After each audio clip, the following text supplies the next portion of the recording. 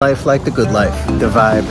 I can say that. I like the vibe. Ah, yeah. You can see Sombrero Beach is kind of located in the ghetto, right? The VFC's travels on YouTube. Sombrero Beach, Marathon, Florida, Florida Keys. No life like the good life. That's what I like to say.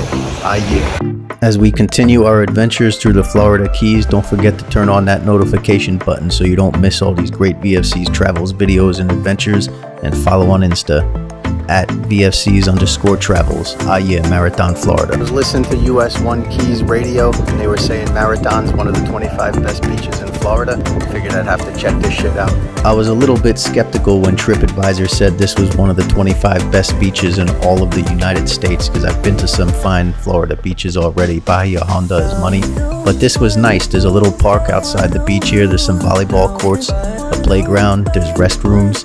Uh, there's one thing that was missing though that I would have liked to see.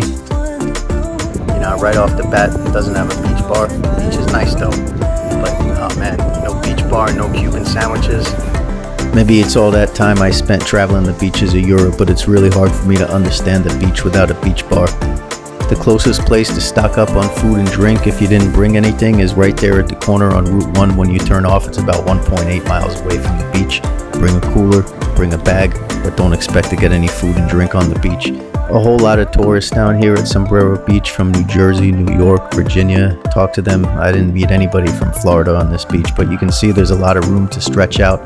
This is down at the south end down there. There's a pier you can walk out on. People getting the kayaks and the paddle boards. I'd set myself up about central in the beach here. And now we walk up to the north side. There's another stretch of beach up here. There's people fishing. It's a really nice tranquilo vibe at Sombrero Beach. Quite a few spring breakers out here at spring break in Florida. You know VFC always lives life like it's spring break every day. Ah uh, yeah.